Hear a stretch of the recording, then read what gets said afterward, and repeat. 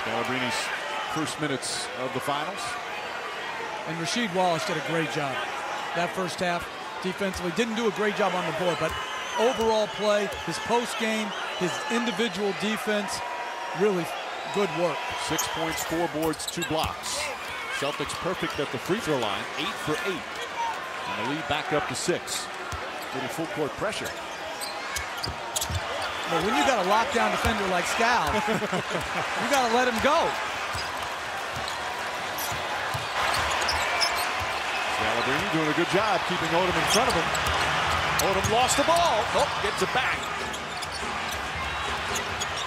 Bryant with six on the shot clock. One.